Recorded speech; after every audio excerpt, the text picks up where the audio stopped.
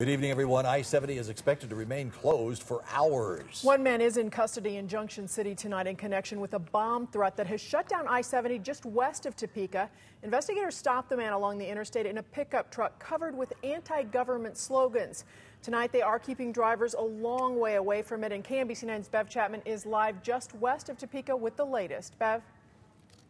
Kelly, both east and westbound traffic is being stopped along I 70. All of this is intended to keep people away from a truck that some fear could contain explosives.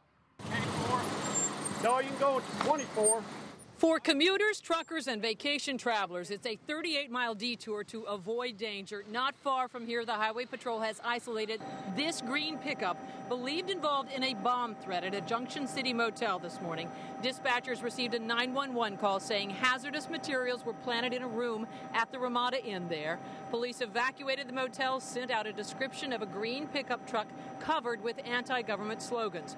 Kansas Highway Patrol spotted the truck on the interstate, stopped it, and took the driver into custody. 50 year old Christopher Spence of Conway, Arkansas, is facing charges of aggravated criminal threat. Tonight, an explosives robot is taking a good look at the truck just west of Topeka, and drivers are taking a detour. Back with a live look at exit 353. Now, drivers are being routed south of the interstate on US 24, and then they connect with Kansas Highway 99 at Alma, at the Alma and I 70 intersection. This is expected to go on for quite a while tonight. We are live west of Topeka. Back to you. All right, a long ordeal. Thank you, Bev. And KMBC 9's Johnny Rowlands gave us our first look at the scene, and he's keeping an eye on what authorities are doing with that truck. Johnny?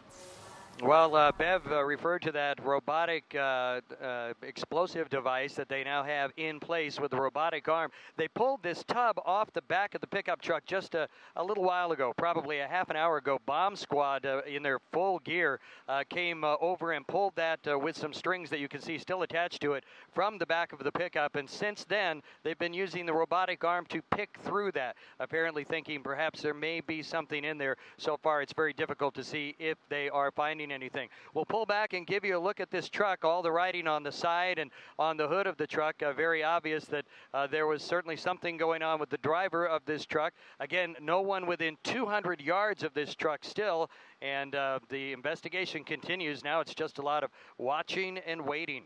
Johnny Rowlands, News Chopper 9, back to you in the studio. All right, thank you, Johnny.